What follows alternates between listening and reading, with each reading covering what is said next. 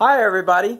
This week in the lesson that I taught for my students was to make sure that you think more of your customer than you think of yourselves. Sales is a mindset. So you have to leave a lot of your problems that you have for life at the door so you can actually concentrate on your customers' needs, what they're looking for, and if you can help them. If you don't leave a lot of the problems that you have in your life out, it's hard for you to sell because you're focusing just on you.